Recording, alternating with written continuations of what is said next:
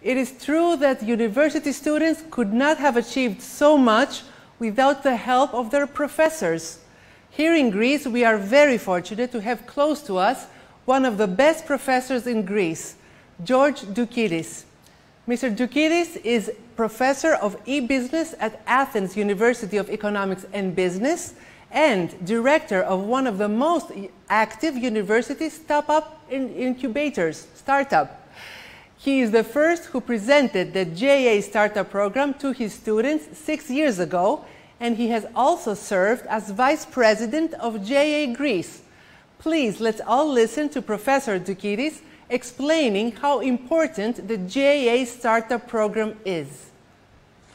On behalf of the local university community, I would like to welcome all university students and their instructors here in Athens and congratulate them for reaching the final of the European Junior Achievement Startup Competition. This competition is very important for elevating the entrepreneurial spirit within the Greek university system, which for many years was neutral, if not negative, towards entrepreneurship.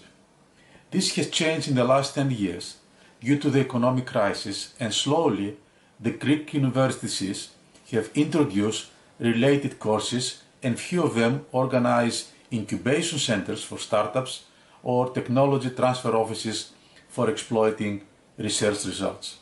When I was member of the board of Junior Achievement Greece some years ago, we have decided that the time was right to introduce this competition.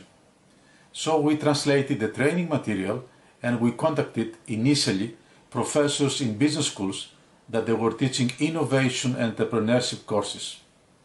The purpose was for the professors to incorporate all this material in their courses and the students to participate in the competition with the startup projects they designed and developed during these courses. These five professors were the initial ambassadors of the startup competition. The response was very positive for three reasons. First, the training material was updated and very helpful. Second, the competition offered a simulated real-life business environment with the prototype, the business plan, the pitching, etc. And third, various experts, entrepreneurs as mentors were very helpful to the students in the various stages of the competition.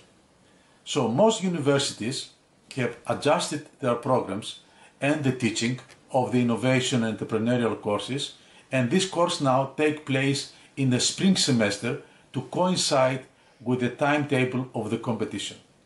The result this year is very impressive.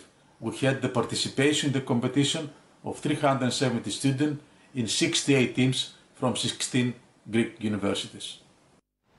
Thank you so much, Mr. Doukidis.